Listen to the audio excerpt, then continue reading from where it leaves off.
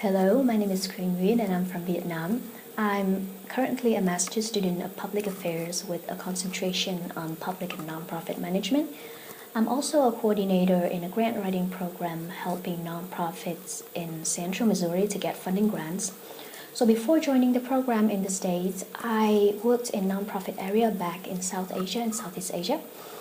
So my question is, if I were to put together all the experience that I have with NGO, civil society organizations, vulnerable groups such as indigenous people, women and children from the works on capacity building, behavioral communication change at community level, as well as policy advocacy at national level, tackling the issues on livelihood, governance, and human rights what would be an effective avenue for someone of my expertise to contribute to the policymaking aspect toward the objective of Coral Triangle Initiative?